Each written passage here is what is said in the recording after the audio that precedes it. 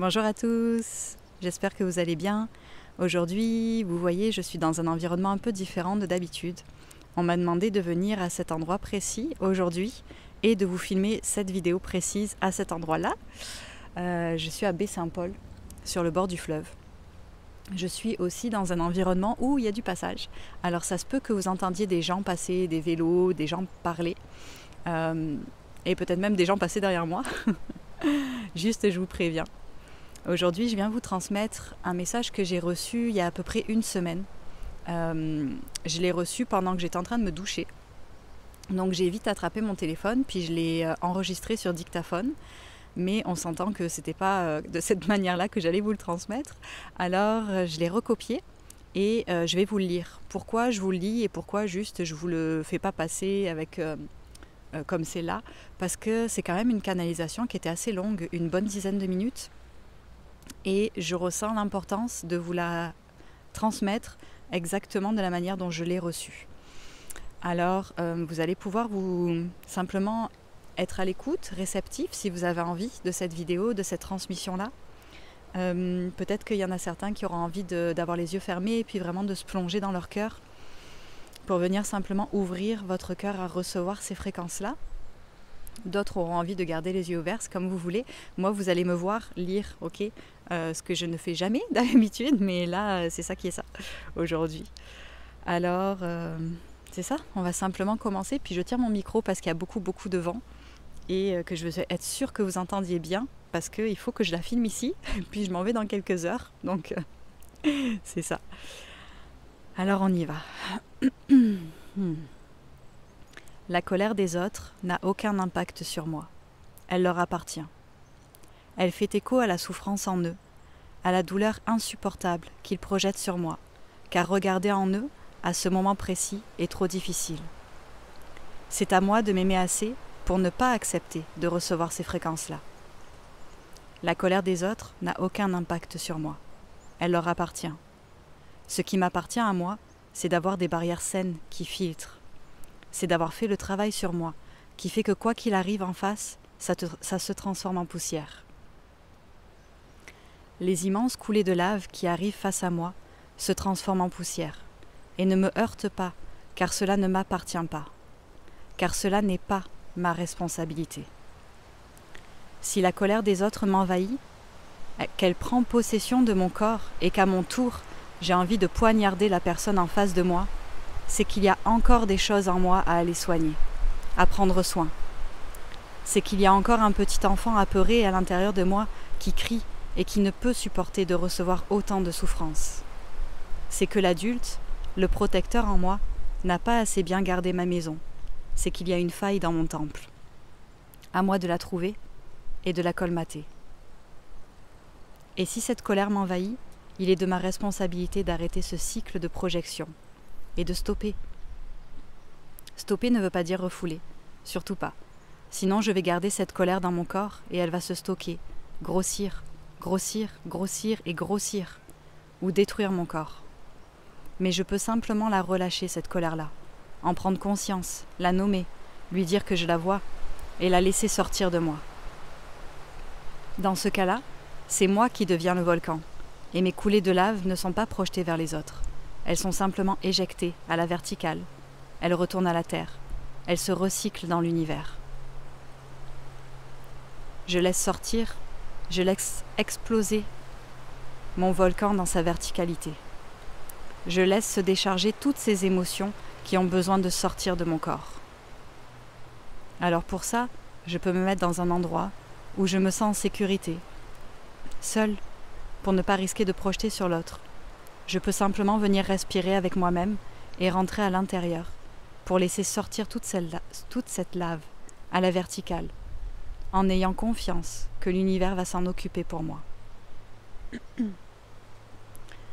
en ayant confiance que mes guides, que les êtres qui sont là pour m'aider, vont récupérer cette lave et en faire de la poussière d'étoiles. En ayant confiance que je n'ai rien de plus à faire qu'à laisser ces fréquences me quitter. Et elles vont sortir.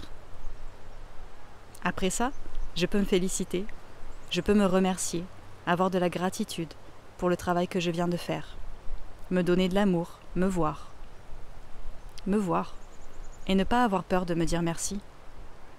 Merci pour ce que tu fais. Merci, merci d'avoir voulu casser ce cycle. Merci d'avoir eu la volonté de créer quelque chose de nouveau, de changer les habitudes, de ne plus aller dans les endroits connus. Merci. Merci d'avoir décidé de ne pas rentrer dans cette dynamique-là. Cette gratitude-là va venir apaiser ce feu à l'intérieur, va venir calmer et en douceur retirer les dernières cendres noires, les derniers résidus qui n'ont pas la place dans mon temple sacré. Le feu sacré, mon feu sacré, a sa place dans mon temple sacré. Mais l'incendie qui vient de l'extérieur, le côté destructeur de ce feu, n'a pas sa place dans mon temple. Aucunement. Alors je laisse sortir, et je nettoie mon temple. Je nettoie. C'est comme s'il y avait un début d'incendie chez vous, et qu'après vous laissiez la suie sur les murs, que vous laissiez cette noirceur sur les murs. Cela ne fait pas de sens. Vous ne le feriez pas. Vous prendriez soin de votre intérieur. Vous prendriez soin de cette pièce. Vous nettoieriez, referiez les peintures, changeriez les mobiliers brûlés. C'est pareil à l'intérieur de vous.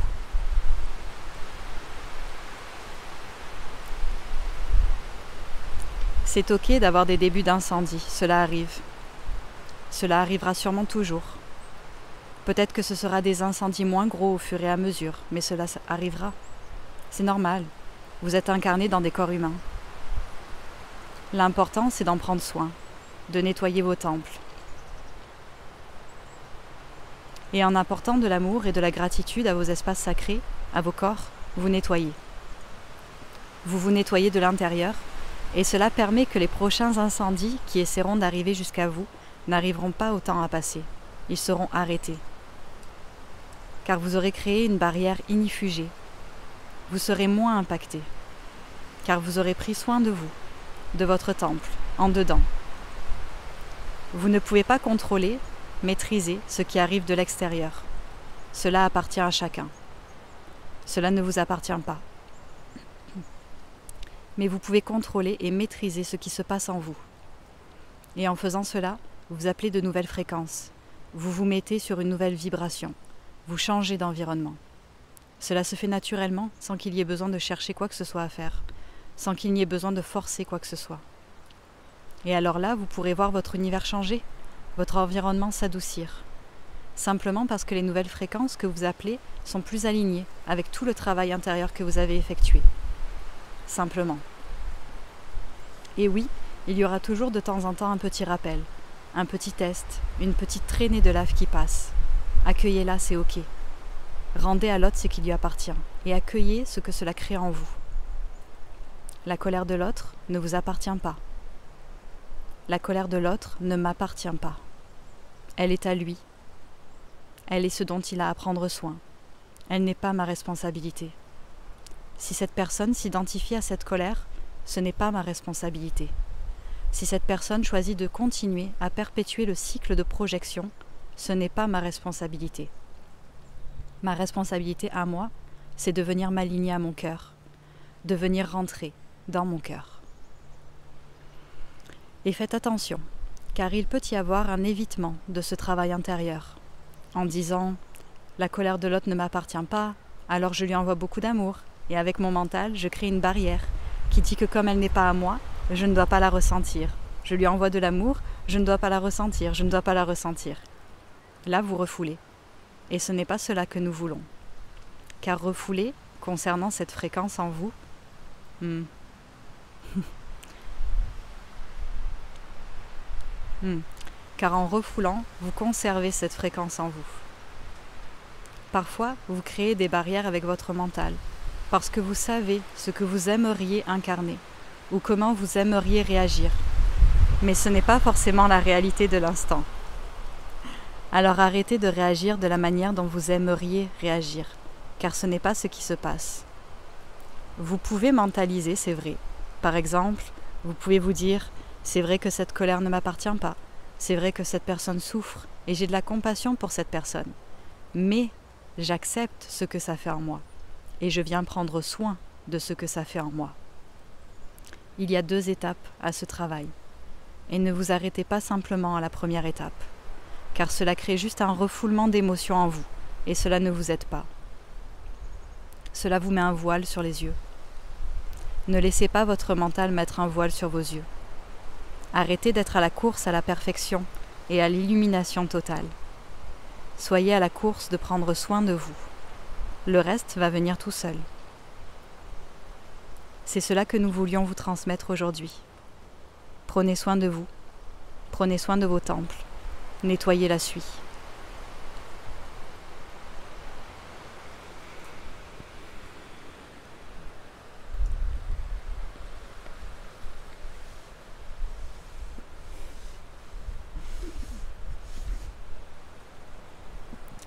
Alors voilà le message que j'avais à vous passer aujourd'hui. J'espère que le vent n'aura pas été trop compliqué. On va découvrir ça ensemble. La prochaine vidéo que je vais vous poster après celle-ci, vraiment proche de celle-ci, peut-être le jour d'après, va être un soin, excusez-moi, un soin que j'ai enregistré il y a quelques jours qui vient vraiment aider à libérer ce qui est refoulé à l'intérieur de vous, ce qui a besoin de sortir de vous. Souvent les gens me disent comment on fait pour connecter aux émotions, comment on fait pour les laisser sortir, les libérer? Simplement en avoir la volonté, simplement vous dire ok je suis prêt à libérer mes émotions, je suis prêt à ressentir ce qui est là et arrêter de verrouiller. Bien souvent c'est vous qui avez verrouillé la porte à vos émotions. Et c'est très compliqué de les laisser sortir parce que c'est vous qui avez la clé, c'est vous qui avez cadenassé cet espace-là. Et vous avez oublié que vous aviez la clé. Vous aviez oublié que vous étiez capable d'ouvrir tout seul cette porte.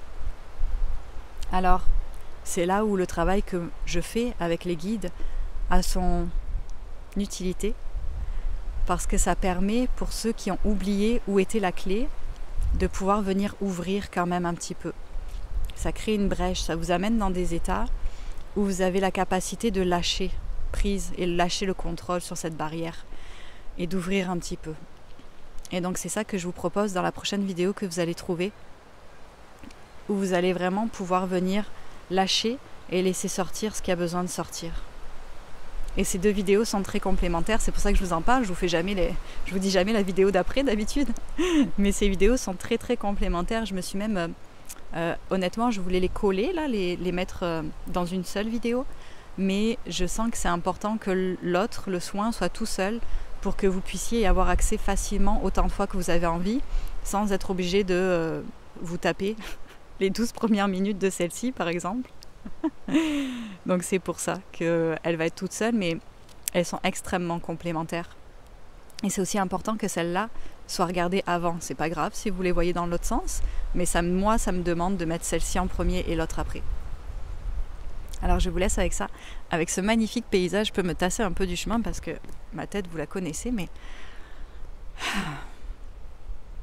Et avec l'esprit du vent qui a vraiment été là avec nous aujourd'hui pour aider à venir nettoyer tout ce qui a besoin d'être nettoyé. Je vous souhaite une magnifique journée, je vous embrasse. Si vous avez envie de partager cette vidéo, si elle vous a été utile, si vous pensez que ce message vaut la peine d'être partagé, alors avec plaisir, merci beaucoup de le faire. Et je vous dis à bientôt. Au revoir.